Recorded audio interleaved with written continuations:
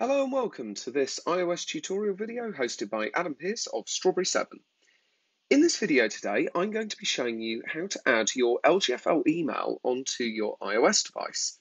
This is a pretty straightforward process, but there are some certain elements that you have to know in order to add it successfully. So, I'm going to be showing you on this iPad here, but the principle of all iOS devices is the same. So whether you're adding it to an iPad, an iPhone, the principle should be the same.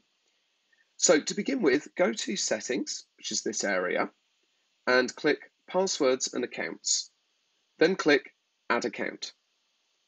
Choose Exchange, and you'll be asked for some details here. Start by entering your email address.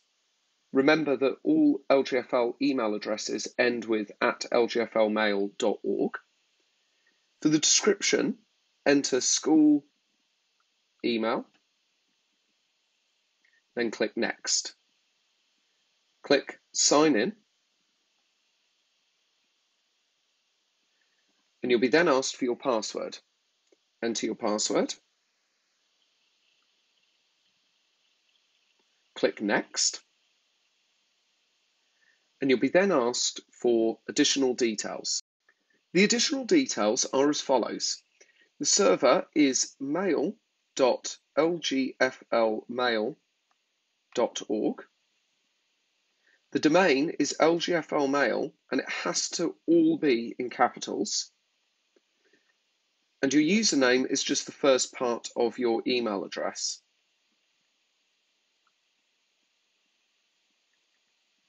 This is also referred to as your USO.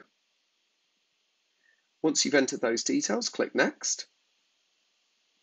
You should get ticks all on the right hand side and it should take you to this screen. On this screen, deselect everything except Mail. That is the only thing we want to configure. Click Save.